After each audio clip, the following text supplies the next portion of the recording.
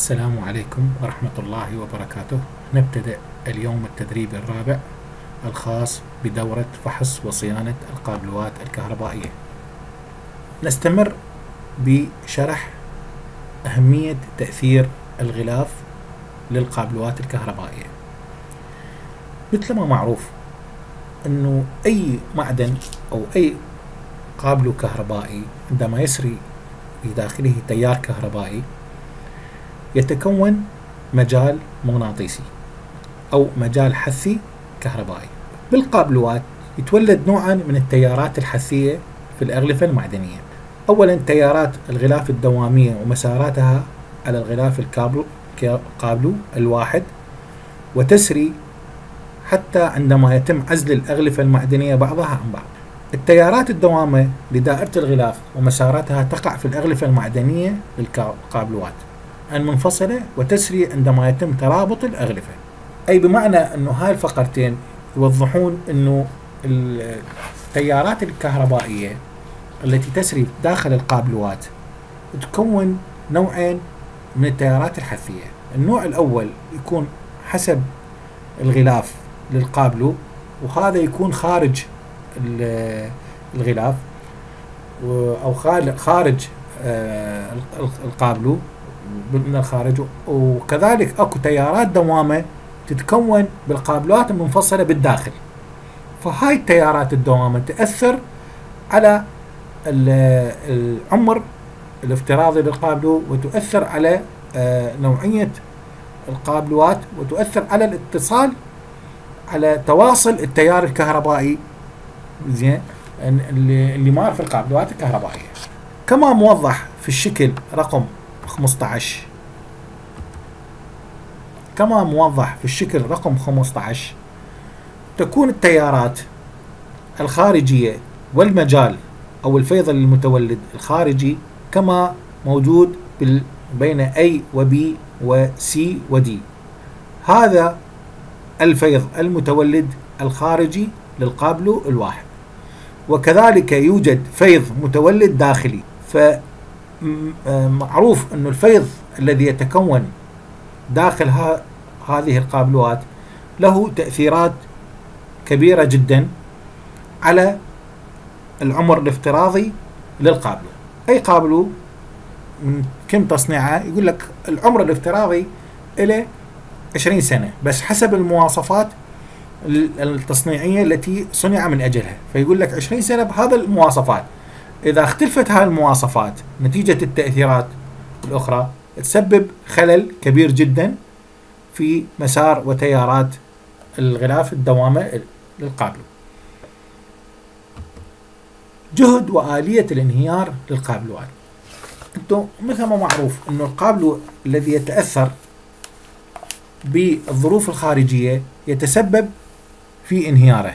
بالعامية. نسأل ليش القابلو هذا عطل ليش اللي صار انفجار بي؟ آه، شنو الأسباب اللي خلت آه، يصير قطع عندي بأحد الفيزات؟ هاي كلها أسئلة يضعها المهندسين أو الفنيين عندما يتعرض القابلو لأي حالة من حالات العطب. شنو سببها؟ أكو عدة عوامل تسببها، أول شيء تعرضه للجهد، فترة تعرضه للجهد، يعني بمعنى إنه آني قابله كهربائي يتحمل 60 أمبير. أجي آني مخاله جهد ما يقارب 56 أو 58 فولت 58 أمبير.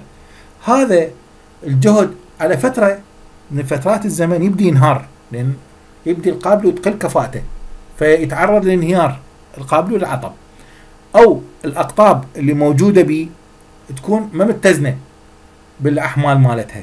تلقي phase من الفيزات يتحمل 50 آه، أمبير phase يتحمل 10 أمبير phase يتحمل 25 أمبير. هذا عدم الاتزان بالقابلوات أيضا يسبب عندنا عطل.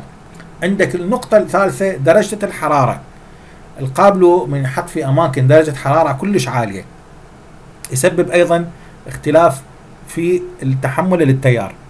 الضغط عملية المد والفرز من يتم وضع القابلوات.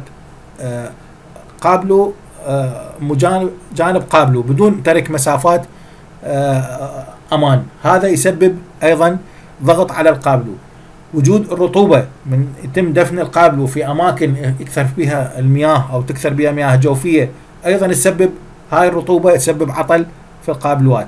وجود الفراغات الغازية ماذا نقص فراغات غازية؟ عملية التصنيع القابلو لازم تكون عملية محكمة.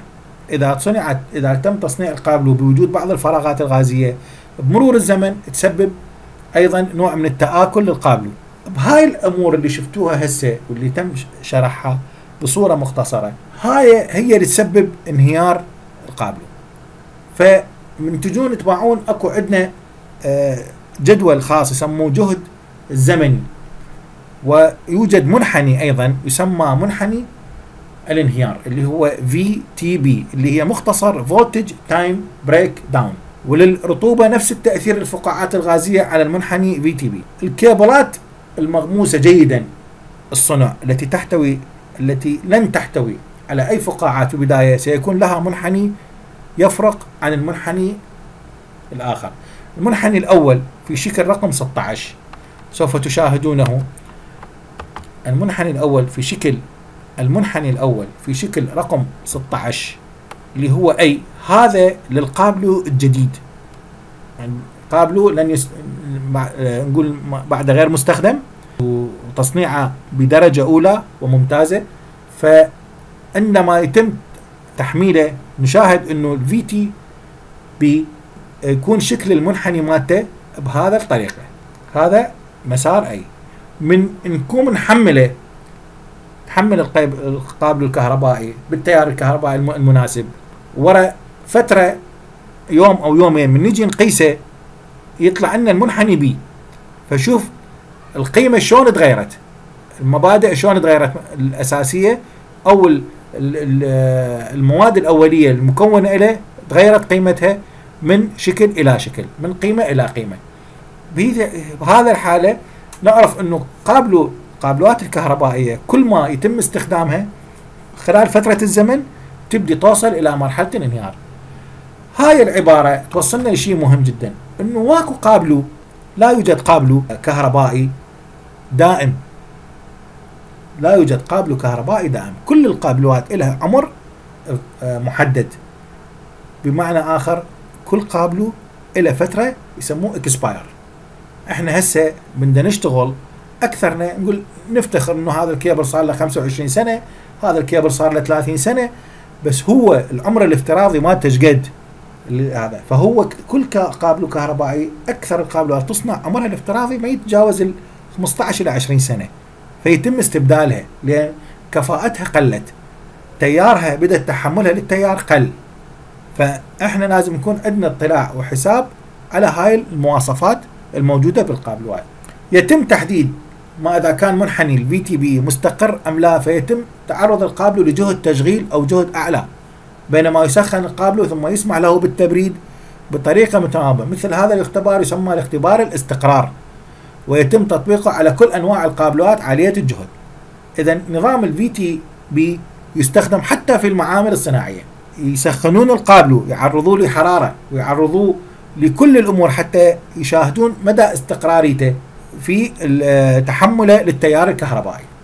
وهذا يساعد على أنه آني القابلو أبدي أبدي أحسن به مثل ما معروف أنه القابلوات كانت تصنع زيتيا بالورق مشبع بالزيت وبعدين بدأوا يصنعون قابلوات بعوازل أخرى.